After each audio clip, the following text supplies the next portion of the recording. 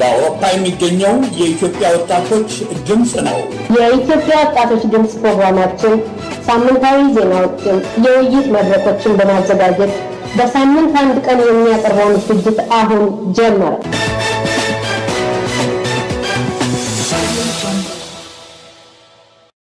ሰላም ጤና ይስጥልን። እንደምንከረማችሁ አድማጮቻችን፣ ይህ የኢትዮጵያ ወጣቶች ድምፅ ነው። ለዜናዎቹ ገበየው ደስታ ነኝ። በመጀመሪያም ርዕሰ ዜናዎቹን እነሆም። በአገሪቱ እየተከሰቱ ላሉ ግጭቶች የየክልሉ አመራሮች ኃላፊነት ይወስዳሉ ተባለ። ሰብአዊ መብት ኮሚሽን ከቅሊንጦ ቃጠሎ ጋር በተገናኘ የመብት ጥሰት መፈጸሙን አረጋገጠ። በማዕከላዊ ንጹሐን ታሳሪዎችን የሚያሰቃዩ የማዕከላዊ መርማሪዎች ተጋለጡ። የጣሊያን ፍርድ ቤት ለግራዚያኒ ሐውልት ያቆሙትን እና መሬት ያቀረቡትን ከንቲባ በእስራትና በገንዘብ ቀጡ። እንግዲህ አድማጮቻችን ለዛሬ ከመረጥናቸው የዜና ርዕሶች ዋና ዋናዎቹ እነኚህ ናቸው። ዜናውን በዝርዝር አሰማችኋለን። አብራችሁን ቆዩ። በአገሪቱ እየተከሰቱ ላሉ ግጭቶች የየክልሉ አመራሮች ኃላፊነት ይወስዳሉ ተባለ። በአገሪቱ ውስጥ እየተከሰቱ ላሉ ህገወጥ ሰልፈኞችና ግጭቶች የክልሉ አመራሮች ኃላፊነት እንደሚወስዱ የብሔራዊ ደህንነት ምክር ቤት ጽህፈት ቤት አስታወቀ ተባለ። የጽህፈት ቤት ኃላፊና የመከላከያ ሚኒስትሩ አቶ ሲራጅ ፈርጌሳ አርብ ህዳር አንድ ቀን 2010 ዓ ም በጠቅላይ ሚኒስትር ጽህፈት ቤት አዳራሽ የተካሄደው የክልል ደህንነት ምክር ቤት ስብሰባ ሲጠናቀቅ ለጋዜጠኞች እንደተናገሩት የክልሎች አመራሮች እየተካሄዱ ያሉ ህገወጥ ሰልፎችንና ግጭቶችን ማስቆም አለባቸው ብለዋል። የአሸባሪዎች ባንዲራ ይዘው ህገወጥ ሰልፈኞችን የሚያካሂዱ አካላት እንዳሉ የጠቆሙት ሚኒስትሩ እንደሳቸው አባባል ይህንን አደገኛ እንቅስቃሴ የየክልል አመራሮች የማስቆም ግዴታ ምክር ቤት እንደሰጣቸው ገልጸዋል። ካለፈው መስከረም ወር ጀምሮ በሶማሌና በኦሮሚያ አዋሳኝ አካባቢዎች በነበረው ግጭት ተሳታፊ የነበሩ የጸጥታ አካላት እና ከፍተኛ አመራሮች እንደነበሩ ጠቁመው እነዚህ ሰዎች በብሔራዊ ደህንነት መለየታቸውና በቅርቡም ህጋዊ እርምጃ እንደሚወሰድባቸው አሳስበዋል። በሰብአዊ መብት ኮሚሽን ከቅሊንጦ ቃጠሎ ጋር በተገናኘ የመብት ጥሰት መፈጸሙን አረጋገጠ። ነሐሴ 28 ቀን 2008 ዓ ም በፌዴራል ማረሚያ ቤቶች በቅሊንጦ ማረፊያ ቤት ላይ ከደረሰ የእሳት ቃጠሎ ጋር በተገናኘ 16 እስረኞች የአካላዊ ጉዳት የደረሰባቸው መሆኑንና የሰብአዊ መብት ጥሰት መፈጸሙን የኢትዮጵያ ሰብአዊ መብት ኮሚሽን አረጋግጧል። በእነ መቶ አለቃ ማስረሻ ሰጤ መዝገብ 38 ተከሳሾች በቃጠሎው ተጠርጥረው ከታሰሩ በኋላ ቃጠሎውን እነሱ እንዳስነሱት እንዲያምኑ ለማድረግ በቅሊንጦ የቀጠሮ ማረሚያ ቤት የአስተዳደር አማካኝነት በግርፋትና ድብደባ የሰብአዊ መብት ጥሰት እንደደረሰባቸው ለፍርድ ቤት በማመልከቻቸው ኮሚሽኑ አጣርቶ ሪፖርት እንዳደረገ በታዘዘው መሰረት ማጣራቱን አስታውቋል። የሰብአዊ መብት ኮሚሽኑ እንዳረጋገጠው በተጠርጣሪዎቹ ላይ የሰብአዊ መብት ጥሰት መፈጸሙን አለመፈጸሙን ያጣራው ተጠርጣሪዎቹ በሚገኙበት ሸዋሮቢት ማረሚያ ቤት በመገኘት ነው። የቂሊንጦ ማረሚያ ቤት በመቃጠሉ የተወሰኑ እስረኞች ወደ ሸዋሮቢት ዝዋይ ማረሚያ ቤቶች መዛወራቸው ይታወሳል። ተጠርጣሪዎቹ ለፍርድ ቤቱ ያመለከቱት በቂ ብርሃን በሌለበት ጨለማ በሆነ ጠባብ ቤት ውስጥ ሰላሳ ስምንት እስረኞች እንዲኖሩ መደረጋቸው፣ የተለያዩ ድብደባዎች እንደተፈጸመባቸው ኮሚሽኑ ከፍርድ ቤቱ ትዕዛዝ መረዳት መቻሉን ምንጮች አረጋግጠዋል። በማዕከላዊ ንጹሐን ታሳሪዎችን የሚያሰቃዩ ማዕከላዊ መርማሪዎች ተጋለጡ። በማዕከላዊ ንጹሐን ታሳሪዎችን የሚያሰቃዩ የማዕከላዊ መርማሪ የህዝበ ሙስሊም መፍትሄ አፈላላጊን ጨምሮ ጋዜጠኞችን፣ ተቃዋሚዎችን ከአማራና ከኦሮሚያ እንዲሁም ከሌሎች አካባቢዎች የመጡትን በግፍ ከሚያሰቃዩ ጨካኝ መርማሪዎች መካከል ጥቂቶቹ ተለይተዋል። እነዚህ ጨካኝ መርማሪዎች በንጹሐኖች ላይ ቶርቸር፣ እስራት፣ ድብደባ፣ ምርመራ በሚል ሽፋን ከፍተኛ ኢሰብአዊ መብት ጥሰት የሚፈጽሙ ተጠርጣሪ ወንጀለኞች መሆናቸውን ለማወቅ ተችሏል። በፎቶው ላይ የምንመለከታቸው ኮማንደር ሙኒ፣ ኮማንደር ወንድሙ የተባሉት የህወሓት ቅጥረኞች በታዋቂ ጋዜጠኞችና ፖለቲከኞች፣ የሃይማኖት አባቶች እጅግ ኢሰብአዊ የሆነ ስቃይና ድብደባን በማዕከላዊ ሲፈጽሙ የነበሩ ናቸው። ወደፊት በሀገራችን ፍትህ ሲሰፍን ከተጠያቂነት የማያመልጡ መሆናቸውን እንዲሁም አሁንም ባሉበት ህዝብ ማንነታቸውን አውቆ ማህበራዊ ህይወታቸውን በግልም እነዚህን ጨካኞች ሊቀጣቸውና ሊያገላቸው ይገባል ሲሉ አንድ የውስጥ አዋቂ ገልጸዋል። የጣሊያን ፍርድ ቤት ለግራዚያኒ ሐውልት ያቆሙትን እና መሬት ያቀረቡትን ከንቲባ በእስራትና በገንዘብ ቀጣ። የጣሊያን ፍርድ ቤት ለግራዚያኒ ሐውልት ያቆሙትና መሬት ያቀረቡትን ከንቲባ በእስራት ሲቀጣ እንደ ጎርጎሪያን አቆጣጠር በ2012 ከሮም ከተማ በስተ ምስራቅ 50 ኪሎ ሜትር ርቃ በምትገኘው የአፌሌ ከተማ አባትነትና ክብር የሚሉ መጠሪያዎች ተሰጥቷቸው በመቶ ስልሳ ሺህ ዶላር ወጪ ለግራዛኒ ሐውልት መቆሙን ተከትሎ የጣሊያን ፍርድ ቤት ድርጊቱ ተገቢ አይደለም በሚል ይህን ስራ የሰሩትን ግለሰቦች በስራትና በገንዘብ መቅጣቱ ተገልጿል። የመታሰቢያው ሐውልት እንዲቆም አድርገዋል የተባሉት የከተማይቱ ከንቲባ ኤርኮሌ ቪሪ ፍርድ ቤት ስምንት ወር እስራትና መቶ ሀያ ሺህ ዩሮ ቅጣት ሲጣልባቸው ይህንን ሐውልት እንዲቆም አድርገዋል የተባሉ ሁለት የምክር ቤት አባላት ጌምፒየር ፈርኖሴ እና ሎሬንዞ ፔፐሮን እያንዳንዳቸው የስድስት የስድስት ወር እስራት እና ገንዘብ ቅጣት ወስኖባቸዋል። በሌላ በኩል ተከሳሾቹ የሰሩት ጥፋት ትልቅ በመሆኑ ፍርድ ቤቱ በተከሳሾቹ ላይ ለአምስት ዓመት የሚቆይ በማንኛውም የመንግስት ስራ ውስጥ ገብተው እንዳይሰሩ ተወስኖባቸዋል። እንግዲህ አድማጮቻችን ለዛሬ ያለን ዜና ይሆን ነበር። ዜናችን አጠናቅራል። ወደ ቀጣዩ ፕሮግራማችን እንሸጋግራለን። አብራችሁን ቆዩ።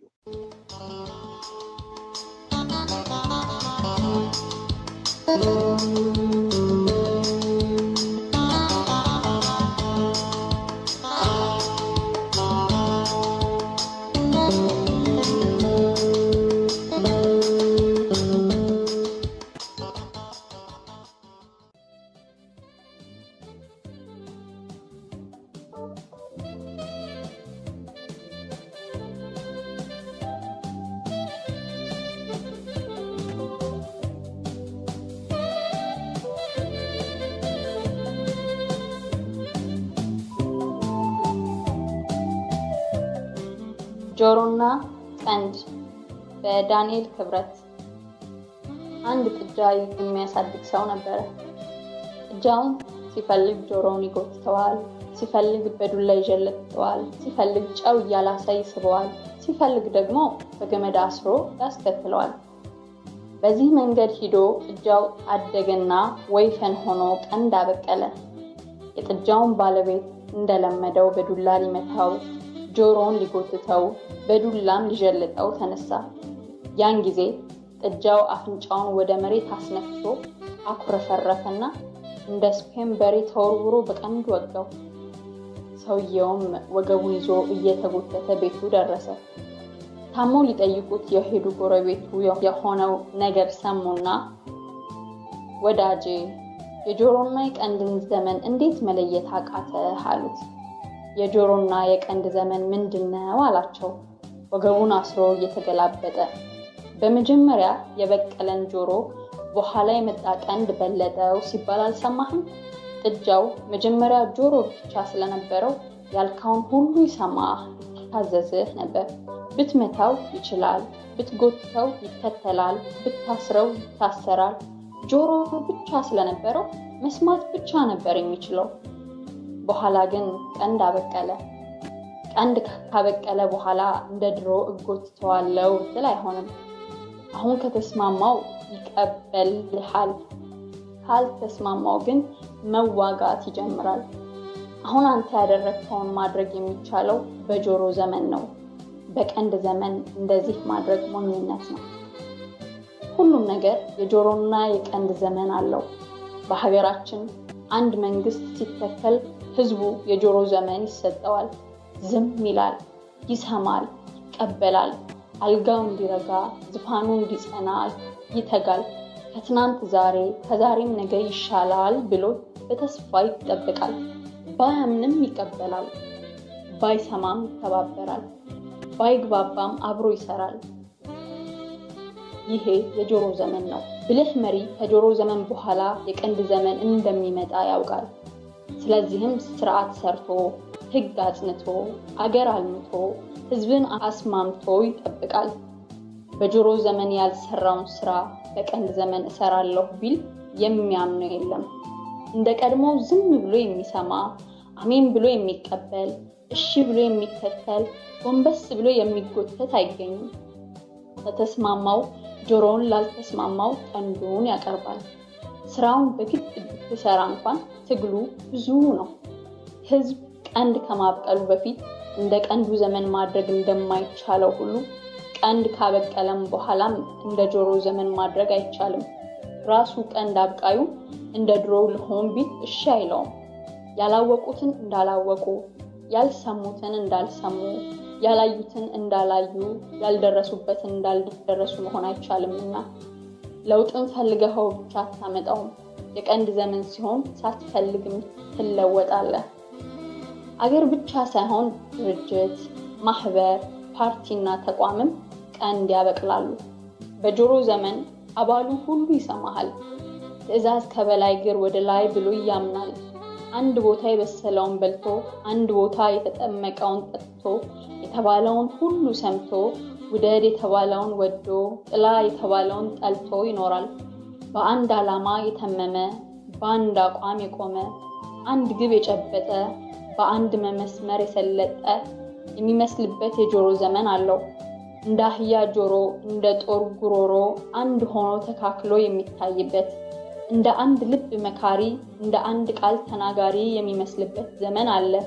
ያኔ አባሉና አካሉ የተግባባና የተስማማ የመሰለው ተግባብቶና ተስማምቶ ብቻ አይደለም፣ ጊዜው የጆሮ ጊዜ ስለሆነ ነው እንጂ።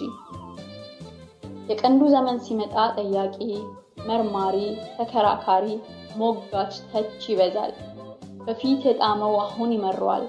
በፊት ያስደስተው አሁን ያስከፋዋል። በፊት ዝም ያለው አሁን ያስጮኸዋል። በፊት የታገሰውን አሁን ይሰለቸዋል። በፊት የፈራውን አሁን ይደፍረዋል። በፊት የተወውን አሁን ያነሰዋል። ቀኝ ኋላ ዙር ስለተባለ ብቻ አይዞርም። አባል ስለሆነ ብቻ የድርጅቱን ነገር ሁሉ አይቀበልም። መለኮታዊያን ናቸው ያላቸውን መሪዎቹን ሰው አድርጎ መመልከት ይጀምራል። ላመነው ነገር እንኳን ቢሆን ተጨማሪ ማስረጃ ይፈልጋል። የጥንቱን ትርክት ብትተርክ፣ የጥንቱን ዘፈን ብትዘፍን፣ የጥንቱን ፉከራ ብትፎክር እንደ ሞኝ ይቆጥረሃል። ያ ሁሉ የጆሮ ዘመን ታሪክ ነውና በዚህ ጊዜ ለምን እንደ ጥንቱ ጆሮውን ስትጎትተው አልተጎተተልንም? ስንመታው ለምን አልሄደም? ስንስበው ለምን አልተሳበም? ስንቆነጥጠው ለምን አልተቆነጠጠም? ብለው የሚያስቡ ዘመንን ማንበብ የማይችሉ ናቸው። አሁን የቀንድ ዘመን ነው። የጆሮ ጊዜ አልፏል። ማሳመን፣ ማግባባት፣ ማስረዳት ይፈልጋል። መስማት ብቻ ሳይሆን መሰማትም ይሻል። እርጅና በየዘመኑ ነው። ልጅነት በዘመኑ ያረጃል። ወጣትነትም በጊዜው ይጠወልጋል። ድርጅትና ማህበር፣ ተቋምና ፓርቲ በዘመናቸው ያረጃሉ። ብልህ እንደ ንስር ያድሳቸዋል። እንደ እባብ ቆዳ ለዘመኑ የሚመጥን ልብስ ያለብሳቸዋል። በጆሮ ዘመን የሰሩበትን በቀንድ ዘመን እንስራበት አይሉ። እባብ ያድግና ቆዳው አላላውስ ሲለው ቆዳውን ገሽልጦ ጥሎ ለእድገቱ የሚስማማ ቆዳ ይለብሳል። ድርጅትና ፓርቲም እንዲህ ካልሆኑ እርጅናው ሞትን ያመጣል።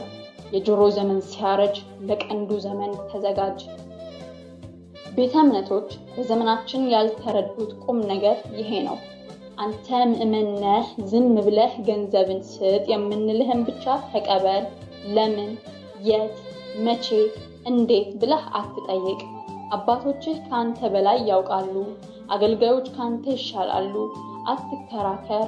ቁጣ፣ መቅሰፍት፣ መዓት ይወርድብሃል ስለተባለ ብቻ የሚቀበልበት የጆሮ ዘመን አልፏል። መስጠት ብቻ ሳይሆን የሰጠው ገንዘብ የት እንደዋለ ማወቅም ይፈልጋል። አባቶቹን ማክበር ብቻ ሳይሆን ክብራቸውን ሲጠብቁ ማየትም ይፈልጋል። የሚባለውን መስማት ብቻ ሳይሆን ለሚባለው ነገር ማስረጃም ይሻል። ይመዝናል፣ ያመዛዝናል። የጥንቱን ከዛሬው ድርጊቱን ከሕጉ ያመሳክራል። በሕጋዊ ቤት ሕገ ወጥነት፣ በመንፈሳዊ ቤት ዓለማዊነት፣ በጌታ ቤት ቄሳር፣ በጽድቁ ቤት ርኩሳት ሲሰለጥን እያየ ዝም የሚልበት የጆሮ ዘመን አልፏል። አሁን የቀንድ ጊዜ ነው። ተገለጠልኝ፣ ታየኝ፣ በራልኝ፣ ወረደልኝ፣ ፈለቀልኝ፣ ሰማይ ደርሼ መጣው፣ አስር ሺህ ሰይጣን አወጣው ስላልክ ብቻ የሚቀበልበት የጆሮ ዘመን አልፏል። ይመዝነዋል፣ ይፈትነዋል፣ ያነጥረዋል፣ ያበጥረዋል። ሁሉ አመክሮ ወዘሰናይ ግብሮ ነውና የተባለው ከቻለ ይሞግትሃል፣ ካልቻለ ትሄዳል። ዝም ብለህ ተቀበል የሚባልበት የጆሮ ዘመን አሁን የለም። እንደ ጆሮ ዘመን ወደ ፈለግከው አድራሻና ጸሎት ቤት ወደ ፈለግከው የራእይና የተአምራት ቦታ አትጎትተውም። አሁን አልሄድም ብሎ ሊወጋህም ይችላል። በዚህ ዘመን በየቤቱ እምነቱ በምዕመናኑና በእምነት አለቆች መካከል የምናየው ውጊያ ይሄ ነው ወደ ፈለግነው አቅጣጫ እንጎትታለን በሚሉ የጆሮ ዘመን አለቆችና ቀንዴ ከፍ ከፍ አለ በሚሉ ቀንድ ባበቀሉ ምዕናን መካከል ድርጅትህን ስትመሰርተው ልጅ ስለነበር እንደፈለግ ታደርገው ይሆናል። እየሰፋ እያደገ እየተለጠጠ እየታወቀና እየሰለጠነ ሲሄድ ግን ከጆሮ ዘመን አልፎ የቀንዱ ዘመን ላይ ይደርሳል። አንተ ድርጅቱን መምራት ብቻ ሳይሆን ድርጅቱም አንተን ሊወጋህም ይችላል። ብዙዎች በገዛ ድርጅታቸው ቀንድ ተወግተው ታስረዋል፣ ከስረዋል፣ ጠፍተዋል፣ በሽተኞች ሆነዋል፣ ጭንቀት ውስጥ ገብተዋል፣ ሙስና ውስጥ ተዘፍቋል። ብልህ ነጋዴ በጆሮ ዘመን ቀድሞ ያስባል። እንደ ጥንቱ መራዋለሁ፣ አስተዳድረዋለሁ፣ እኔ በቀዋለሁ፣ ለዚህ ደግሞ መቼ አንሳለሁ አይልም። የልጅነቱን ልብስ አሁን ልልበስ እንደማይለው ሁሉ የጥንቱን አሰራር አሁን ልከተል አይልም። ለቀንዱ ዘመን የሚመጠን አሰራር፣ ስርዓት፣ አስተዳደር፣ ባለሙያ፣ ህግ፣ አደረጃጀት፣ የደረጃ ምጣኔና አስተሳሰብን ይገነባል እንጂ በሀገራችን ዘመን ተሻግሮ ከልጅ ልጅ የሚተርፍ ድርጅት ያጣ ነው ባለቤቶቹ ድርጅቱን በጆሮ ዘመን አስተሳሰብ በቀንዱ ዘመን እንምራው ስለሚሉ ነው። ድርጅቱ አድጎ አድጎ ከአቅማቸው በላይ የሆነና ያሳደገው አውሬ እንደሚበላው አዳኝ ያሳደጉት ድርጅት እነሱንም ይበላቸዋል። ስንት ዘመን መርቼው ድንጋይ ጥዬ መስርቼው ላቤን ጠብ አድርጌ እዚህ አድርሼው ማለቱ አይጠቅምም። ያ የጆሮ ዘመን ነውና። ዳንኤል ክብረትን ከልብ እናመሰግናለን። አድማጮችና ተመልካቾቻችን የኢትዮጵያ ወጣቶች ድምፅ የዚህ ሳምንት ዝግጅት የእስካሁኑን ይመስል ነበር። ፕሮግራሙን በመምራት አብሬያችሁ የቆየሁት ይኖራል ቀመር ሳምንት በሌሎች ፕሮግራሞች እስክንገናኝ ድረስ የዝግጅት ክፍሉ ባልደረቦች ስም የአክብሮት ምስጋናዬን አቀርባለሁ። እስከ ሳምንት መልካም ሳምንት። ኢትዮጵያ በክብር ለዘላለም ትኖር።